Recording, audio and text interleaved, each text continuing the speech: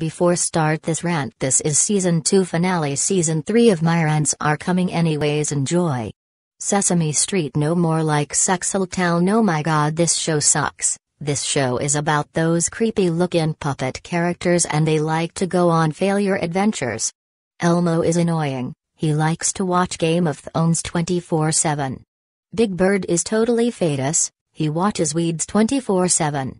Grover is a retarded, he likes to say the F word to kids 24 7. Cookie Monster is a totally fatty eats too many cookies 24 7. Bert and Ernie likes to sex with all girls 24 7.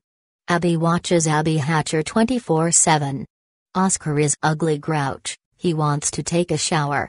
And no one cares about the other characters.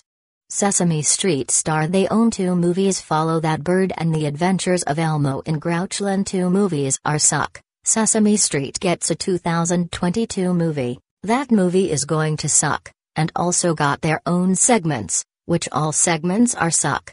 The animation is crap, the stories are lame, the music is boring, the theme song is annoying, the voice cast are completely jerks, the puppetry is garbage and the characters are idiots they like to have sex at night, smoke pot, eat poop for dinner, drink pee when they're thirsty, go to school naked, wear diapers as their underwear and jack off when they're bored. I hope this show gets cancelled for good.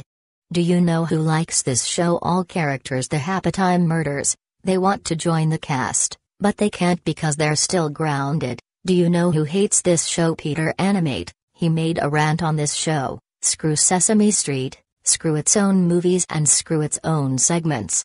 The Simpsons is so many times better than Sesame Street. End of rant.